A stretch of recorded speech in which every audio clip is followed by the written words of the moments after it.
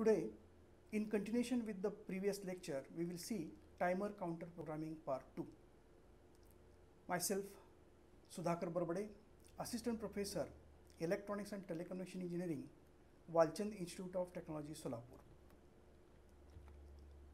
Learning outcome At the end of this session, students will be able to describe key features of 8051 timer counter and its programming. Contents Here we will see timer counter mode 1. Next we will see programming timer counter using polling method and programming timer counter using interrupt method. So these are the two methods to use timer and counter. This is what the diagram of how the timer counter in mode 1 works. So here is the input from previous stage is given to the uh, timer registers TLX with 8 bit, THX with 8 bits and this is what after uh, all the bits of this 16 bit timer rolls from 1 to 0 TFX will be generated and after that interrupt is generated. So basically this mode is similar to mode 0 except for the fact that both timer 0 and timer 1 are used as a 16 bit up counter. So instead of 13 bit with mode 0 here mode 1 uses 16 bit up counting and the 16 bit counter can hold values between 0000 to FFFFH. So the maximum count in hexadecimal the 16 bit register can hold is FFFFH. So this is loaded in TLX. X stands for here either of uh, timer 0 register or timer 1 register. If, if X is 0 then it is a TH0, TL0 means timer 0 register and if X is 1 this is a timer 1 register. And the formula for finding the initial count to, which is to be loaded in, into this TLX and uh, TLX is uh, same as the previous one that is time delay equal to final count minus initial count plus 1 multiplied by timer clock period. Programming timer in mode 1. See how the calculation of initial count, it is also called as reload value. Here calculation of timer 0 reload value in mode 1 needed to achieve timer delay of 100 microsecond. Assume at oscillator frequency is 11.0592 megahertz.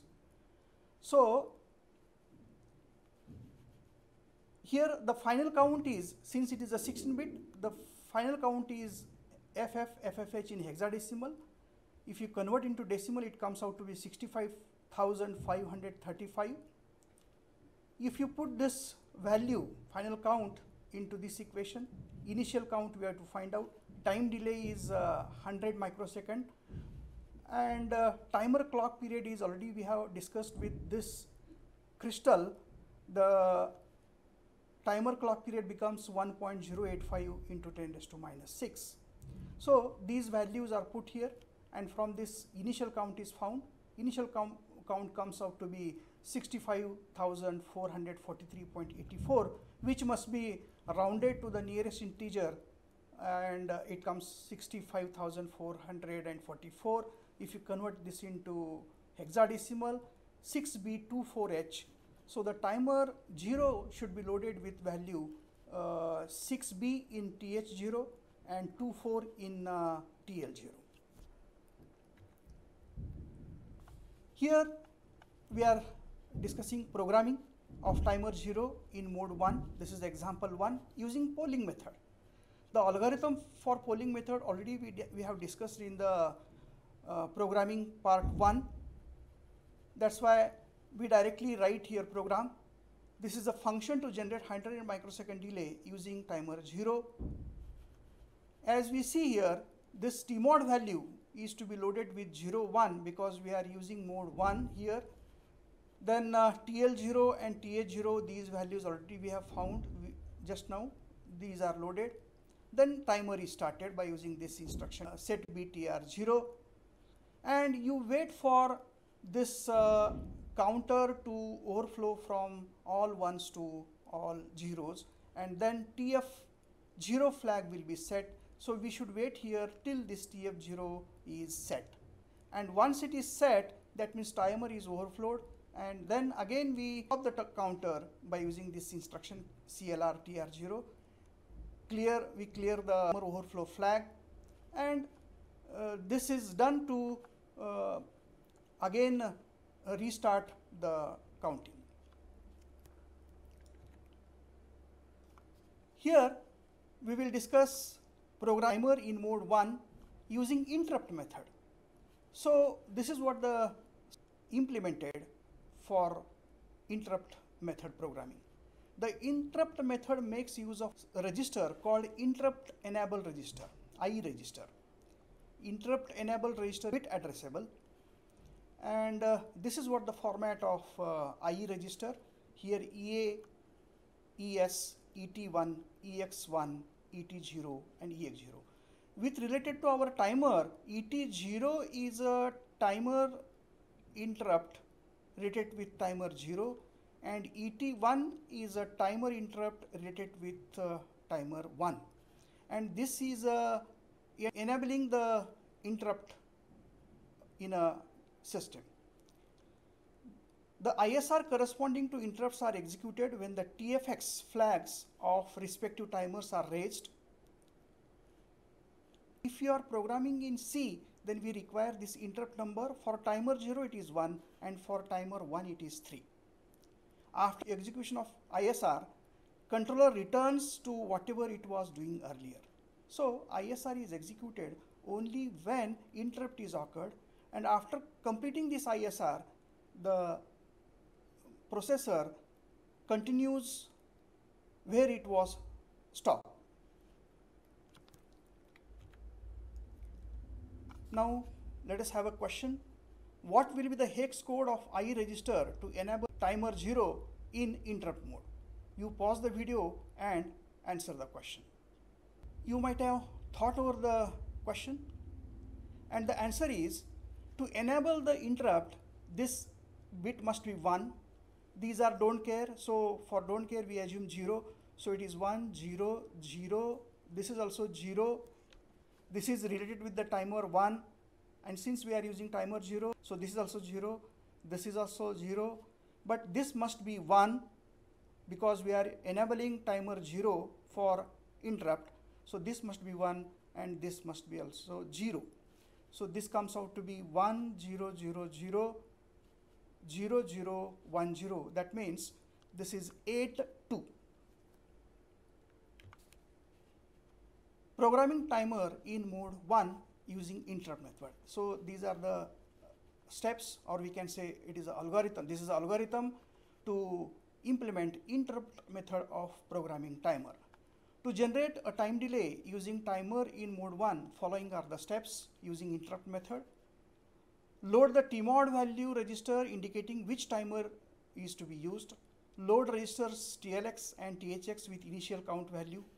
Enable the timer interrupt by passing the hex value to IE register. Start the timer with setb TRX instruction.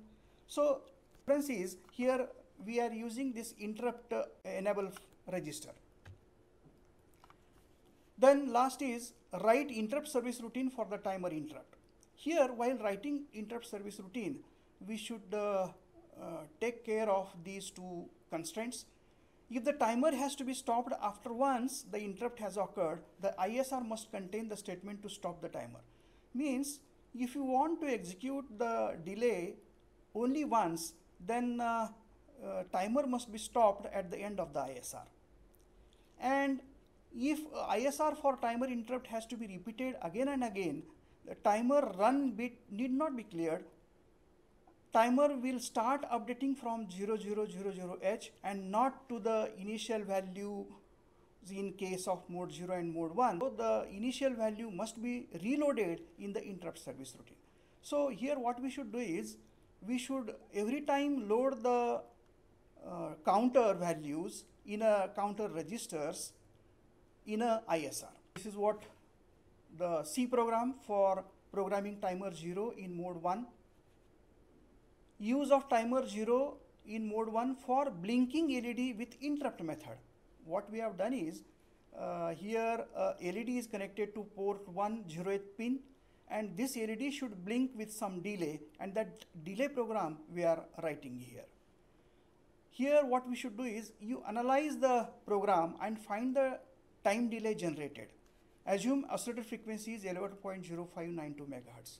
So here uh, program is written and uh, by observing the program and analyzing the program you must find out the time delay. So let us see first the program. Here this is a main program hash include reg51.h include file is there. Then uh, we are declaring this uh, p1.0 port 1 0th bit pin as a LED variable assigned to this is LED of type sbit. Then interrupt service routine. Since the address of interrupt service routine related with uh, timer 0 is 1, we are writing here interrupt 1 and ISR name is timer and here what we have done is just stated with the LED variable is complemented here.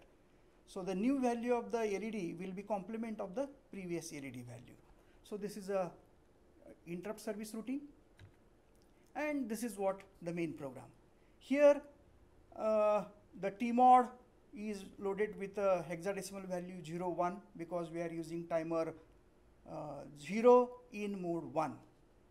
TH0 initial value we have not found but it is loaded 0 0 here also 0 0 that means TL0 and TH0 values are 0 0 so from this information we should find out how much time delay we get. And IE value is uh, 8 2 already we have found how to find out the value of this uh, IE register. Then timer is started by this and uh, this is to be repeated forever. That's why uh, this while infinite while loop is used. Now if you look at the analysis of the program what we require is to find out uh, how much time delay we get this is known to us final count since it is a 16 bit counting mode 1 means 16 bit counting final count is 65535 minus initial count here it is given that is 0 and plus 1 timer clock period. So from this we get a time delay of 71.1 millisecond. So these are references for preparing these slides. The 8051 microcontroller architecture, programming and applications by Kenneth Ayala. And second is the 8051 microcontroller and embedded system by Muhammad Ali Mazidi. Thank you.